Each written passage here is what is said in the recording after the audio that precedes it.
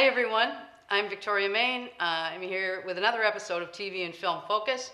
Uh, we're here with our usual panelists Brandon Cole, Keely Gelineau, and Francis Heid. And our special guest today, Melodie Bahan, Executive Director of the Minnesota Film and TV Board. Thank you, Melodie, for taking the drive up. I'm happy to. I love coming to Duluth. Me too. um, so there's so much great stuff going on right now, but let's let's just start real quick. Uh, tell folks a little bit about what the Minnesota Film and TV Board does uh, and what your role is in the state in terms of film. Great. Um, Minnesota Film and TV is um, our state's film commission. Um, so, as such, what what we're tasked with doing is marketing the state as a location, providing assistance to filmmakers in terms of finding crew, locations, that sort of thing, uh, permitting, anything that filmmakers need. Um, and then we also work with the state to administer this, the two statewide incentive programs. The rebate program, which we have had for decades, and our brand new tax credit program. Okay. Um, I'm glad you brought up the, the two state programs because, um, you know, we've, we've had on, on the show the folks talking about the, um, the other incentives, the county one uh, and, and the Iron Range uh, deal, but clarify for people a little bit what the state, the two state programs are about. Right. Um, well, the, the rebate program uh, was established in, I think, 1997 when um, this was after Canada had introduced, introduced the first film incentives and production in the United States just hemorrhaged. Um, everything was going to Canada. So US states then, in response, started creating incentive programs, and Minnesota created a rebate program. Other states created tax credit programs. So in the intervening years, incentives have now become baked into the budgeting process of a film and or a television show. Um, if you do not have a strong and competitive incentive in your jurisdiction, you will not get production. It just it's not going to happen for the most part. So Minnesota created uh, the rebate program, and it worked okay um, until it didn't. um, and it still works great for certain things. Um, really low budget uh, feature films, uh, commercials, post production, um, sometimes a television episode. Uh, those things are great because it depends on a direct appropriation from the legislature. And the, the amount of the appropriation that they have been willing to do has decreased over the years. So we are currently at 500,000 per fiscal year for that program. And that's just the rebate program? That's just the okay. rebate program. Okay. And if you know anything about um, film budgets, 500,000 goes really fast. Um, sure. And so we generally run, it, we, we get an appropriation for two years because we budget on the biennium. Yep. So that two-year appropriation is generally gone halfway through the first year of the fis- the, the biennium. Okay. Um, so then when I when I became executive director of Minnesota Film and TV, it was clear to me that we needed a tax credit if we were going to be competitive with the rest of the industry, with the, the rest of the states. Can you um, explain the difference between a tax credit program and a rebate? program? Absolutely. Oh my gosh, this is, yeah, you may have to just cut me off because I do tend to go on about You look this. so happy right now. I, I am so happy about this. So, a rebate is exactly what it sounds like. Um, a film comes in, they uh, apply, they get certified based on their budget and what they're doing and all of that, the expenses that would qualify they do their film or television or whatever they're doing. Um, when they are done, wrapped, everything's done, they turn in all of their paperwork, their receipts. We go through everything to make sure that what they're claiming they spent, they did actually spend, and that it was qualified, and these are all Minnesota expenses. These are not, you know, payments to out-of-state things. So, once we audit that internally, then they get a check. That's a rebate. They get a rebate for up to twenty-five percent Okay. of the qualified expenses. So because they're getting a check, that is why the legislature has to make a direct appropriation, because funds need to be allocated by the state to write these checks, to cover these expenses, Okay. to rebate these expenses. I do have a question on that. Yeah. So like for the county's uh, incentive specifically, you know, they, they spend the money in St. Louis County. Say they hire someone like me who lives in St. Louis County as their assistant director, their production manager, whatever. Um, how does that work for like if they want to pull crew from the cities, like bring say, you know, sound guys, PAs, that from the cities um, who don't have an address in St. Louis County, do they still get some sort of incentive for that or no? On the state or the county? On the county incentive. Um, I don't believe they do, no. Okay, so it's all- it's local to it's- the county. Most, almost all incentives are, they will only incentivize expenses within within their the county. jurisdiction. I, I wanted to ask that because I've been getting a lot of questions from other Minnesota filmmakers um, that live in other parts of like, hey, am I eligible for this? And I had to go back and say, I don't know. So um, No, no, But So they they're are not- s- uh, in, eligible for the state, of course. absolutely. okay, so they would get the absolutely. state Right. portion of Any, it. if you're a Minnesota resident, doesn't matter what county you live in. Okay, well now I know what to tell them when they Yes, ask me. Yeah. But you yes. have to be a Minnesota. Scarlett Johansson, if she comes to Minnesota, is not gonna get. Well, that's where it gets complicated because then you're talking about, and we could go way deep into the weeds here, uh, some above the line uh, exceptions or qualifications. But we're going to leave that aside for a moment because now I'm going to tell you, Francis, come on. So then you have, um, the other type of incentive is a tax credit. And what a tax credit is, is the state doesn't appropriate any funds, no one gets a check. No, no one walks away with any cash from this. A project comes in, they apply, they get certified under, you know, all the same conditions. Um, and then they do their project, they submit their stuff for an audit, they get audited, and then the state issues to them a certificate which they can use, it's a credit, a tax credit certificate that they can then use on their Minnesota state tax liability in the future, over the next five years. So in our case, in Minnesota, we, our tax credit is transferable, which means that if it's HBO and they don't have a Minnesota state tax liability because they don't have a brick and mortar business here, they can sell that, transfer that credit to a Minnesota-based company that can then use that tax credit for their own business. So it's good for the industry, it's good for local corporations, it's bipartisan, it's, I, I love tax credits. Everybody wins. um, so that's the big difference. One, you get a check, the other, you get a credit on future tax liability.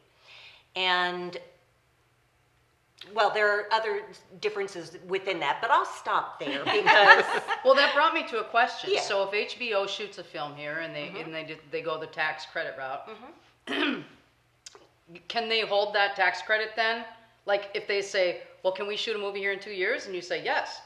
Can they use the tax credit then? Like, is it, how long does it last? Or is it, is it that fiscal year? it it has to be used for that the next I think it's four or five years taxes. So Okay. but but So they kind of have a window. yeah Okay. yeah But and- HBO probably isn't gonna have a Minnesota tax liability, so they'll still s- continue to sell. So Yeah. their next production, they'll sell that to somebody else. Just out of curiosity, is the sale dollar for dollar? No, Do- do- no. So there is sort of a. Like any, I, it- it- this brokers. is something a lot of people don't, don't realize, that there is a huge, uh, industry just in the buying and selling of tax credits in different areas. There is the industry for, uh, film and television production tax credits. There's an industry for historic tax credits, for low-income housing tax credits. All of these things are bought and sold. So this is not, this is not anything unique to our industry. Um, this is just a, a tool that we use. It's business. Yeah, absolutely. So I'm Joe Blow. Yes. Who's paying Minnesota state taxes. Yes. I haven't gone to a movie in ten years. Why, why, how is this good for me? Why, why, why does the Minnesota legislature want to do this? Because of the spending that is coming into the state because of the tax credit. This is what's referred to as but for. They, HBO would not come here to shoot their movie but for the tax credit. So while they might get a credit on Minnesota expenditures of four million dollars, say it's a small project. So they're spending four million dollars that's qualified in the state. They're actually probably spending seven million dollars in the state. Um, so it, there is a multiplier effect also. So you're paying Minnesota workers who are then paying taxes, um, who are buying groceries and buying, paying their mortgage and Going to buying restaurants. gas, everything. I was yeah. going to say, so that's my understanding is that it, it, it feeds into the local industry. It puts uh, money in the local uh, filmmakers that are here, the local crew that's here. It puts money into the local hotels, restaurants, um, catering. So it, it, it just it adds it creates revenue for um, the area that you film in. Absolutely, and not to mention the, the taxes, because a tax credit doesn't mean that they're not paying taxes. Right. They're paying every tax that they have to pay. Yep. On wages, goods, services, when they make their films. So that's going straight into the state coffers. Mm-hmm. And they, ju- they're getting us, you know, some percentage of that, you know, back in that credit form, but, but they've, they've, they've already spent. the They've money. already spent it, Okay. right, right. And they, nobody gets a rebate or a credit unless they have already spent their money and we have verified that they've spent that money. So, okay, um, in this, Brandon kind of gave me this question, but I want to talk a little bit about the stackability of what we have going in Minnesota now, because we've got state, we've got, uh, county, the Iron Range also has their own incentive, I believe. Yes. And then I believe Duluth is going to do something on the city level, I That's what I understand. hear, Yeah, so that's very exciting. So my understanding is these are all stackable. Like if, if you're shooting in St. Louis County, you can stack all those babies on top of each other. Well, you can stack one of the state programs. You can't, you can't use both the rebate and the Right. tax credit. On the state side, you gotta pick one. Yeah, you've got to Okay. do one or the other. Um, but then you can certainly stack those regional or city incentives on top of the state incentive. The difference is that the state incentive is going to cover things that the St. Louis County is not, as Brandon asked about wages. St. Louis County isn't going to incentivize the wages of Twin Cities workers Right. that are brought So up. I- I've got a kind of a piggyback question on the stackability because there's another rumor that I've been hearing, and I don't know exactly where it is, and you can just tell me if it exists or not. I hear that there's a sweet spot where you can take one of the state incentives, the St. Louis County, and then the Iron Range. I, there's like a geographical sweet spot where you could theoretically stack all three of those. I Does that bel- exist? I believe that does exist. I know it's a very small area. It is a very but- small area, and, and what, what would qualify in that area Is uncertain. is, yeah, I mean, you might be able to hire a couple of people there to work in an office, or, you know, if there, there might be some, some lodges or hotels, whatever, restaurants, are, but, but I don't know. Sherry would. Right. uh, I just, I just ask because there's, know. there's, I've, I've been talking to a couple local filmmakers that have Mm-hmm. been, you know, saying that they hear that there's this rumor of this sweet spot, and they want to go buy land or buy property on that sweet spot. So, um, Wow. I just wanted to ask you a question about that, just to clarify for all the local filmmakers out there listening, so you kind of know exactly what's up with that. And Yeah. it sounds very uncertain at this point. Well, it's not uncertain. It does exist. Right. Um, you know, it's not like uh, Bigfoot. There, Right. it, it It's- it's actually a real thing. Um, but uh, On your GBS. yes, yes. but I'm not sure. You know, I don't have.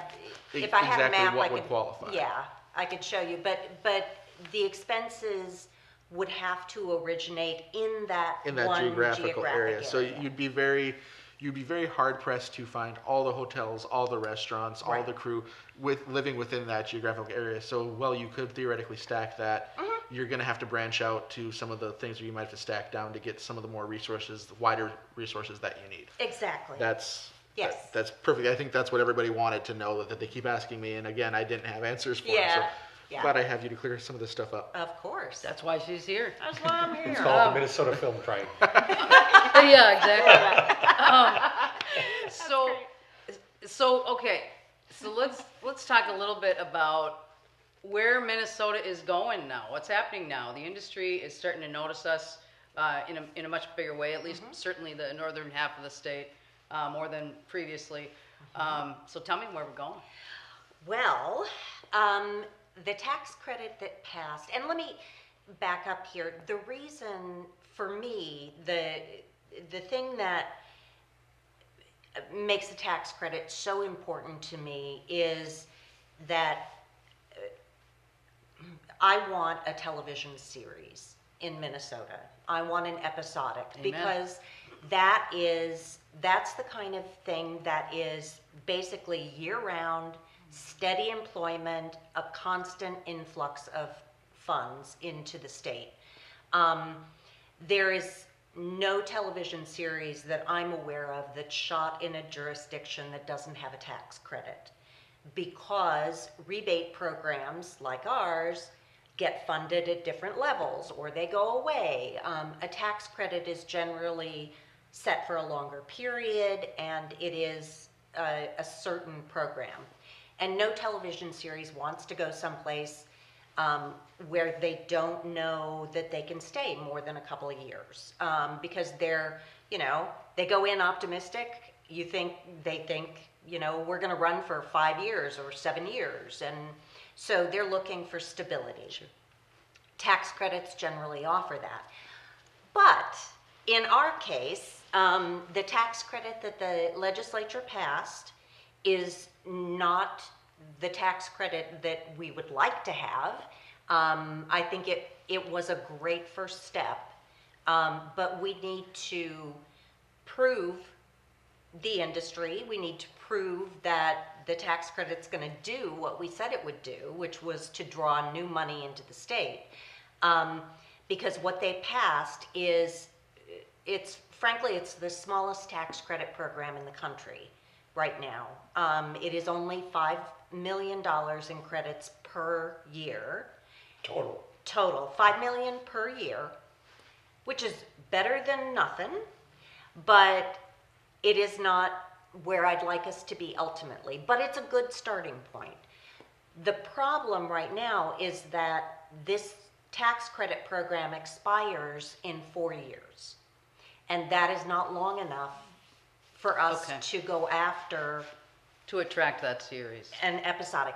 What we can do and what we are looking at and talking to folks about is, you know, because production and the industry and streaming has changed so much, an anthology series would be a perfect thing for our program because it is something that changes locations, changes cast, change, you know. So if we could get a one-year anthology, that would be great. And we'll we're certainly working, you know, to talk to industry folks and pitch Minnesota as hard as we can. Um, but our goal is to prove that this works, bring some work in, get some people jobs, get some money into the state, go back to the legislature and show them the numbers, because we are collecting the numbers on Sure. everything, um, and say, this program works and can only get better if you increase the amount of tax credits that are available and if you extend it for So 10 the- years. The legislature doesn't accept the wild successes of Georgia and New Mexico? Well, that's not Minnesota. Yeah, and you know, I frankly, I, I have to say, it was for some folks, it was very disappointing that we didn't get, you know, twenty-five million dollars in credits with no sunset. Um, but you know what, Minnesota couldn't handle twenty-five million dollars in credits right now. We do not have the crew to handle that many multiple productions at one time. So starting small gives us the opportunity to do what y'all are doing up here so great, which is, you know, trying to build up your workforce and get people trained. And, you know, we need to do that down in, in the Twin Cities. We need to do that all over the state. Um, because having the credits are great, but if a production has to bring in all their crew, the, the credit means nothing because they can't use it. So you- currently the credit is set for four years, did you say? Mm-hmm. And what would be, a- would it, you know, is seven years, uh, 10 years, what's, uh, sunset, Well, never? what, it- what has happened in other states that have uh, passed tax credits, that have tax credits, is many of them have started small, like ours, with a, you know, a five-year sunset. And invariably, the legislature has gone back a couple of years into the program and increased the tax credit amount and either extended or abolished the sunset altogether. So when we started this, what I was hoping for, I, ideally you want no sunset at Sure. all. I don't think Minnesota legislature would go for that. Um, you know, they, they want guardrails, which is totally fair. Uh, I think if we could go back and get a ten-year sunset, that would give us the room that we need to market the state as a location for episodic. To go after those series? because Absolutely. It's, the Minnesota Film Board, you, your job is twofold. I mean, you both have to deal with the legislative side, um, the public affairs kind of lobbying side, but you also literally have to attract the projects. Yes, Okay, yes. so, yeah. Yeah. So you'd love to be attracting those projects. I would, I would. Um, and, you know, a, a longer sunset would give us a little breathing room. Um, you know, Sure. it's, it, we're certainly doing everything and have been doing everything that we could since the governor signed this law in July. You know, we were uh, on the phone immediately to folks in LA that we have relationships with, uh, to the many, many, many producers that have called our office over the last couple of years, looking at Minnesota as a possible location until they heard about our incentive program. Um, but calling them and saying, hey, we've got what you need now, consider us. And in fact, we've got a, a feature film that starts production at the end of this month uh, that is one of those situations where this producer called our office a couple of years ago with this project. Um, we didn't have the enough incentive for them with the rebate. Um, so she was on our list of people. I called her back and she's like, ah, perfect timing because we haven't made this film yet, but we're about to start budgeting and we continue talking. They applied for the tax credit. They got it. They start shooting the end of this month. Yes. Wow. So, I mean, that's what, that's where we're at right now, is just trying to talk to everybody we can and, and get these projects in. So how are, how are the folks, um, in the, you know, film and TV world? Are they starting to, are you start, are those calls ramping up to you? Are Oh, people gosh. starting to, you know, Absolutely. Um, the, the thing to know is that the studios, everybody watches what happens, um, in with incentives. There are, there are companies whose job is to, you know, follow incentive programs. and, Right. Uh, the big payroll companies, um, Entertainment Partners and um, Cast and Crew, they, if you go to their websites, they have maps that lay out who's got what incentive and how much it is and what the rules are. It is so important. So as soon as ours passed, the big payroll companies called us and got our information out there to the rest of the industry, all of their clients. Um, it, it is known.